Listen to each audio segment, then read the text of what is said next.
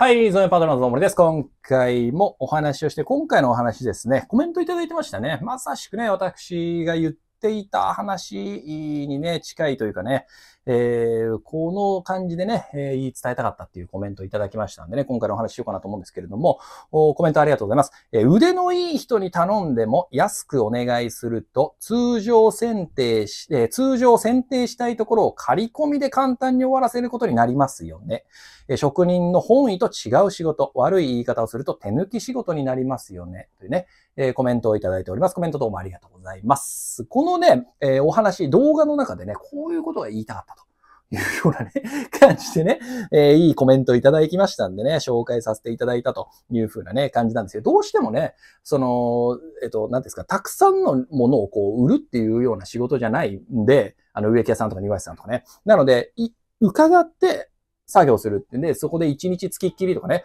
半日作業しっぱなしとかね、そういう風な感じに大体はこうなってくるわけですよ。そうすると、やっぱりね、あの、ちょっと安くなんないとか、なんかももっとこう安いところ探そう、安いところ探そうっていう風な感じになると、こういう感じのね、えー、ことになっちゃうんですよ。どうしてもね、こう悪い言い方っていう風な感じで、えー、おっしゃられてますけれども、まあ手抜きというかね、まあこれでね、しょうがない仕上げなきゃいけないとかっていうね、感じになるんですよ。私もですね、えー、まあ、あまり言いたくないんですけれども、以前ね、えー、その見積もりをね、させていただいたお客様はですね、えっ、ー、と、もっと安くならないのかっていうふうにね、やはりおっしゃられる方が少なからずいらっしゃってですね。で、え、最低時給って1000円だよね、なんてね。あの、お話をなされていた方もいらっしゃいました。最低時給1000円です。千葉市ね。えー、千葉県千葉市、最低時給1000円ぐらいなんですよ。で、1000円だったら8時間働いたら8000でしょ？って言ってました。8000円でですね、えー、超一流のね、人間をね、雇えるかって言ったらね、やっぱ雇えないわけなんですよね。残念なんですけれどもね。私もですね、あの、高級料理ってね、こうあんまり食べたことないんですけれども、高級料理って、えー、なんか仕入れるのの値段で出せないのみたいなね。あの、牛ってこの勝手に生まれてこないとかね。なんか、切るのってその包丁だけで切れるよねとね。そういうのに近い話になってくるのかななんてね。あの、思ったりするというようなね、感じなんです。まあ、今のね、話はね、結構極論でね、あの、お話をしているんですけれども、やはりですね、えどの事業もそうです、基本的には。その成長するっていう段階のね、職人がね、成長していくっていう段階もありますし、そこにお金がね、かかってるわけですよ。ですね、最低時給が1000円だから8時間働いたら8000円でしょ。だから8000円でやってっていうのは、かなりね、あのー、もう暴論というかね、もうそれじゃさすがにね できないという風なね、感じなんです。まあ、最終的に発生でやったとしてもね、会社は運営できませんからね、もう、であれば、の、頼まない方がいいですよ、みたいな感じでね、会社側の判断がね、そういう風になってきちゃうっていうようなね、感じになりますんでね。まあ、ですんでね、まあ、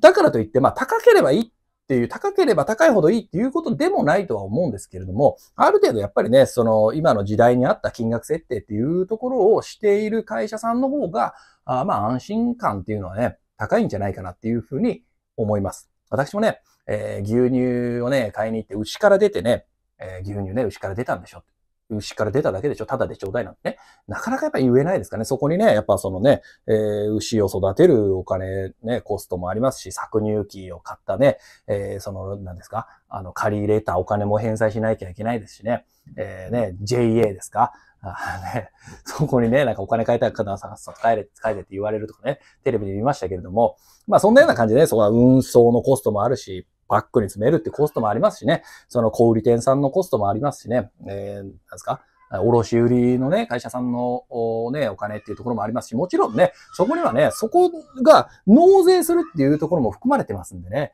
税金っていうのがね、一番もしかしたらお金取られてるんじゃないかななんてね、思ったりするというようなね、感じなんですよ。だからね、えー、税金っていうところがなくてね、えー、会社の利益っていうところがなければね、もうほんとね、最終、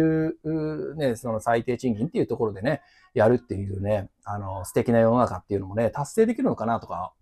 思わないんですよね。なかなかね。ですんでね、まあ、ぜひともね、あのね、そういうような感じでね、えー、考えていただければいいんじゃないかなと思います。私ですね、えっ、ー、と、サブチャンネルもう一個ね、チャンネルやってるんですけど、そちらの方でね、ぜひその植木屋さんとか庭師さんとかは、もうね、えー、できることならね、4万円、1日4万円かかるんですよっていうお話してます。こ、こっちのね、チャンネルでもしてます。ですんで、えー、4万円かかっちゃうんです。すいませんっていうようなね、えー、感じの会社さんが一つでもね、増えていけばね、えー、植木屋さんの能力っていうところもね、どんどんどんどん上げるために時間を費やすっていうことができるんですよ。要するに、開発費に近いんですよね。教育費っていうのは。自分自身でね、教育して、えー、ね、勉強して学んで、ね、超一流の植木屋さんになりたいんだ、庭師さんになりたいんだっていう人は、もう本当にごく一部はいらっしゃると思うんですよ。本当ごく一部だと思います。通常働いてるのはやっぱサラリーマンの方が多くて、でね、えー、ある仕事をこうね、淡々とこなしていくっていうような感じの方の方が多いと思うんですよ。そうなると、やはりね、会社の方が、えね、教育っていうところにお金とか時間とかっていうのを使っていけるようになるには、ある程度のお金をいただかなければいけないよと。いうふうになります。最低時給でね、えー、やるっていうような感じだったりとか、その今言った4万円、1日4万円以下で、えー、仕事をするよっていうところであればね、親方はね、まあそれでもね、勉強熱心であればね、えー、いただけるっていうのはあるかもしれないんですけれども、会社単位になってくるとね、存続するっていうことも難しかったりとか、あとはね、その教育っていうところにお金が使えなかったりとかっていうふうになります。もちろんね、あの、その会社のですね、その努力不足っていうところはね、えー、あるとは思うんですけれども、けれどもね、けれども、けれどもの部分がね、多いというようなね、感じなんですよ。まあ、巡り巡ってね、結局そのね、えー、どんどんどんどんお金が安くなるとね、デフレスパイラルっていうところにまた入っていくんじゃないかなと思い、また、またですか？今ですかね？ちょっとわからないんですけれどもね。また入っていくっていうような感じになっていくと思いますんでね。まあぜひともね、えー、そのぐらいかかっちゃうんだっていうところでね、えー、考えといていただければなっていう感じのね、えー、お話になってますんでね。えー、ぜひね、これを見ている植木さんにはさん、明日から4万円ね、え以上、えいただくようにね、していただきたいななんてね、思いましたと。いうお話になります。あとね、頼んでいただける方もね、大体目安としてね、まあ1日で終わったらまあ4万円プラスゴミ処理代ぐらいかかるんだな、みたいな感じでね、思っといていただければいいんじゃないかなっていうふうに、えー、思います。結構ね、えー、まあ無茶をね、えー、おっしゃられる方もね、中にはね、